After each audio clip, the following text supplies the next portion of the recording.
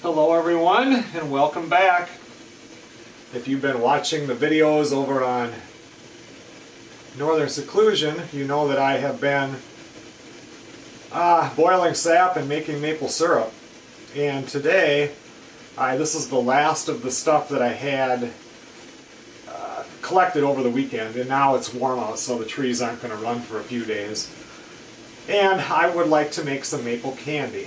Some of this is going to be syrup, and then some of it I want to boil down even farther and make it into maple candy. I've been going out every day and collecting the sap, and then I made a new sap evaporator, so I've been running that and boiling it down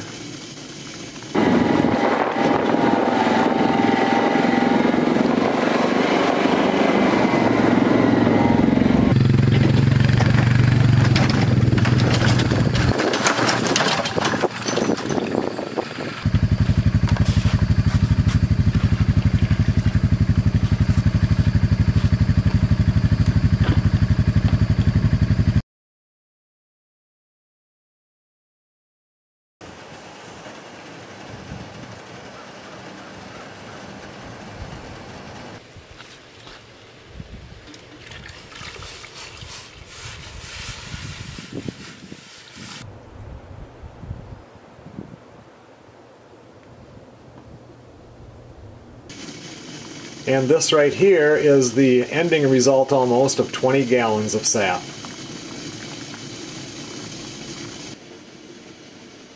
Twenty gallons will usually make eight half pints, so you can see I've boiled down a lot of sap. When I took this off the evaporator last night, I take it off at 216 degrees and then run it through a pre-filter and then I just brought it inside because it was time for bed. And that's how you do um, do it when you're doing the maple syrup. I'll pull it off at 216, I'll bring it in here, and then it's supposed to be, well, seven and a half degrees above what the temperature of water is boiling at your house that day. Barometric pressure, all everything plays a part of that. But normally 219 is about what syrup is but I've been checking it with a hydrometer and I have been having to go to 220 for it to be um, perfect in the hydrometer. Every single time it's been 220. Right now on my little instant read, which isn't all that instant when your hand's in a hot pot, I'm up to 217.5. So once it gets to 220, I'm not even going to check the hydrometer this time. I've done it too many times. I'll then run it through the filter, and then, so like I said, some of this is going to be syrup, and then we're going to make some maple candy. For the maple candy, I opted to buy two of these little uh, maple leaf molds. I didn't see, I, uh, I had to get something that could get here in just a couple days off Amazon, so they have other ones that are like log cabins and stuff also. And you don't have to have the molds, you can also just pour them over a, like a piece of parchment paper on a cookie sheet and um, just let it harden and then you can just break it up into chunks of candy.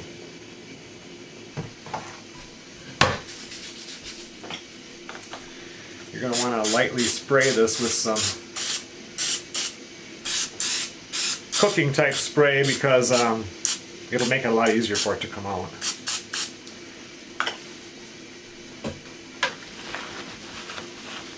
Some people will add butter uh, when they're making the candy. I'm not going to. I just want pure maple candy. Uh, it also gets a little bit longer of a shelf life if you don't have the butter in there.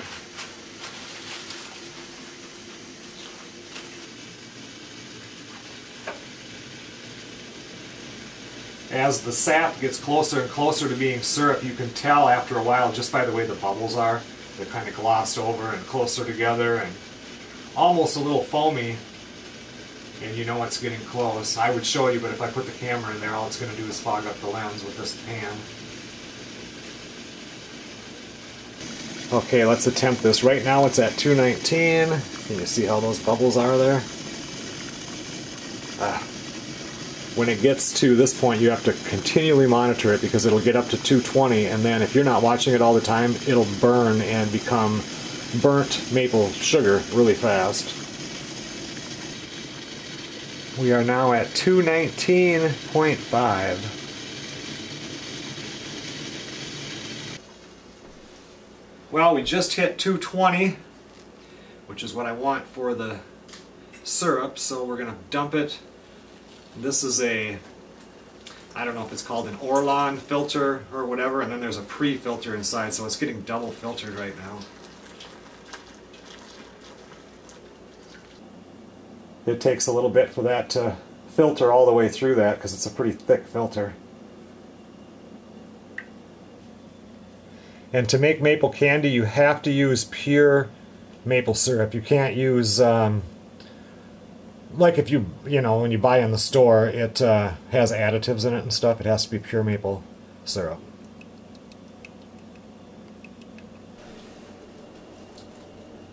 I actually bought some of these maple syrup jugs. Yeah, I didn't buy a whole lot of them, but I bought some before I started and then I decided I wanted to do it in the jars because it's such a change from the beginning of your sap season to the end in the different colors that your syrup will turn out, which is very interesting to me. Um, this has a real nice amber color. This is much lighter. But uh, it'd be nice to send down at least a jug to Melissa's mom and this would travel in the mail much better than um, glass. I wouldn't worry about it nearly as much.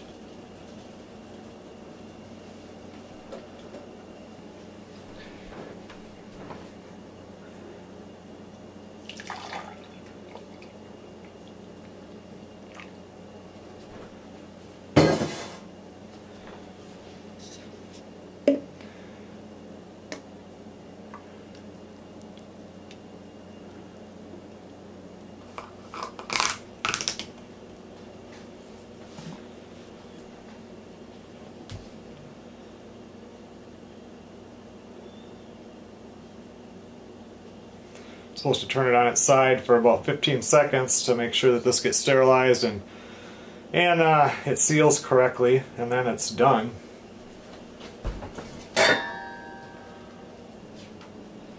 I'm going to need two cups of syrup to do one of those uh, things of uh, candy. Boy, I don't know what I got there. I think what I'm going to do is fill up one of these because I really, this is the fourth or fifth batch and I want to do taste test throughout all the batches so that's a nice color.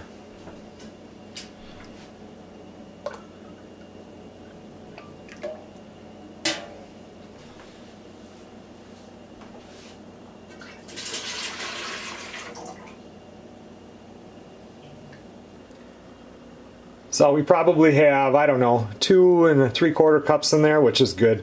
I will, uh, I'm going to have some lunch and then we're going to cook this down. wonder if I want it in a smaller pan. How am I going to... Like, the thing is, if you have a too small of a pan, it'll bubble over. If you have too big of a pan, you have a hard time when it cooks down being able to tell what the temperature is. And we want to bring this to 235 degrees to make the candy. I'm going to have lunch and then we'll figure it out. Well, I've got it back on the stove here and boiling, but now if you, you got to keep it down low and slowly boil it, otherwise it bubbles all the way up and it wants to go over. We'll just heat this till it gets to 235 degrees.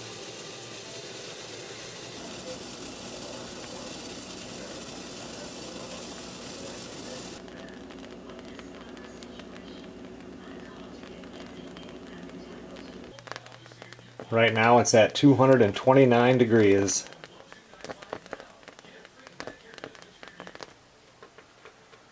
Alright, it said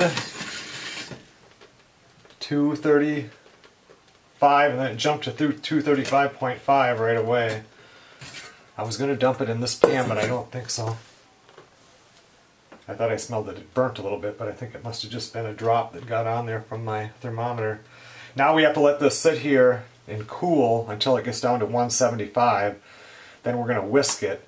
And, um, you know, some people say up to five minutes, but you really have to watch it or it'll turn into sugar and you'll lose it. Now it's just slowly going down. Now that it has gone down, I do think I'm going to put it into this smaller pan.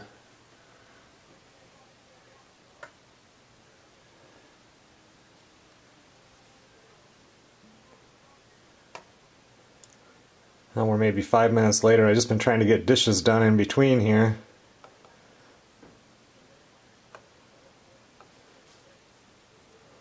Well, we're at 182 and it's still going up some, but it's dropping pretty fast.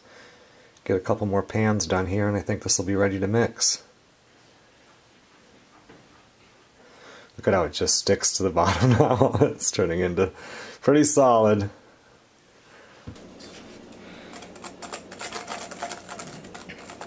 Well, we've reached that 175.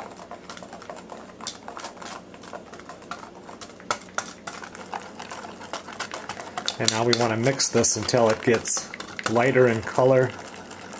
Almost sounded like until like air starts getting into it, which could take anywhere from three to five minutes. I read one story. I'd made this years ago, but it's been a long time, so I was reading on it again, and somebody said it only took them 30 seconds and it was ready to go.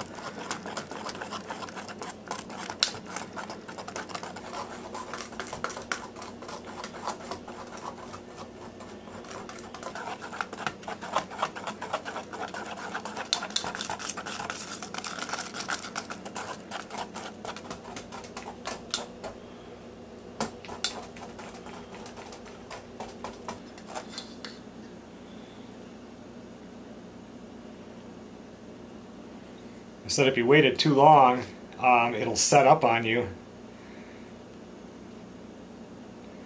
and you won't be able to get it in here. So I think this is about right. It got a lot lighter.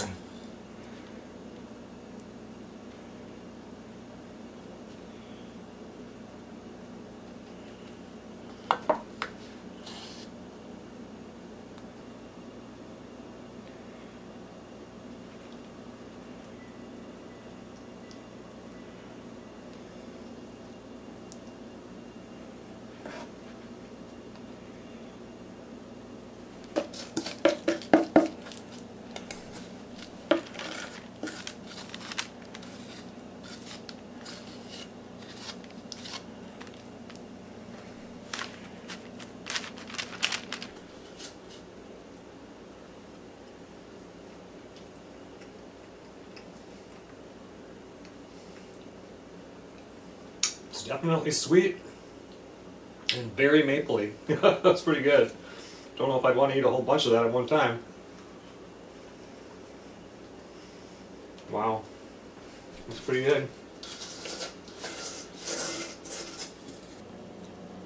Well, I guess we'll let that set up.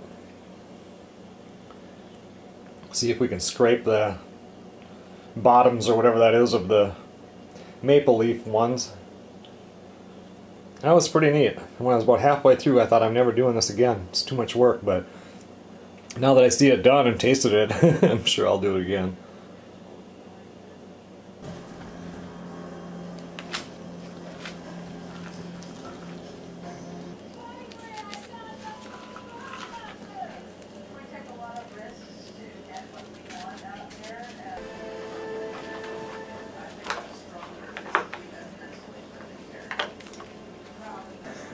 Well, these actually come out pretty easy and no reason to scrape that bottom because the sides just break right off so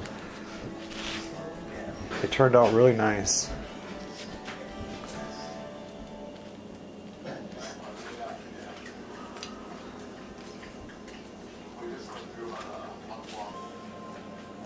Okay everyone, well thanks a lot for watching.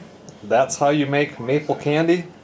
It's very sugary. When you put it in your mouth, it like melts in your mouth. It's pretty neat.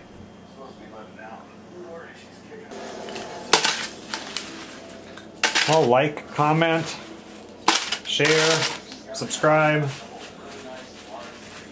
Let us know if you guys actually try this. It really is good.